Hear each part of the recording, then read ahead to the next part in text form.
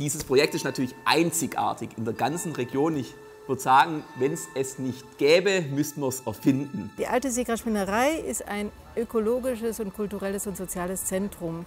Es ist getragen von einem Kinder-Jugendhilfeträger. Das heißt also, die, das, der Fokus auf Kinder und Jugendliche ist sehr stark. Wenn man sieht, was da alles in der Jugendarbeit gemacht wird, die Kikuwe,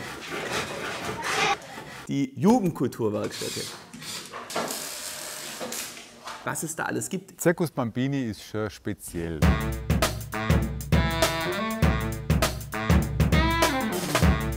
Afrika-Tagen.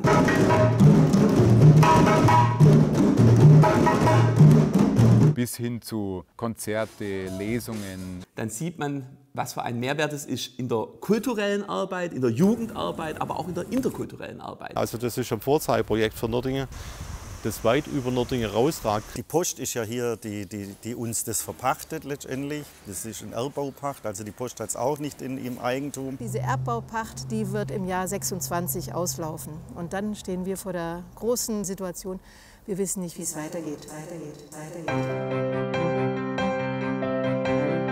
Immer wenn man da ist, hat man auch ein Strahlen. Also wenn wir bei den Afrika-Tagen sind, ist immer auch das Vergnügliche, aber auch das Sinnvolle.